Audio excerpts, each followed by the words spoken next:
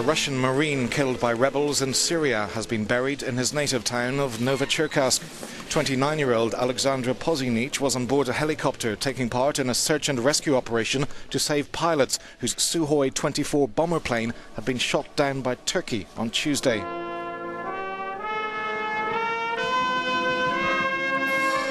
Rebels downed the helicopter with small arms fire before destroying it. Pozynich was awarded the Order of Courage posthumously for courage, bravery and dedication during the fulfillment of military duty.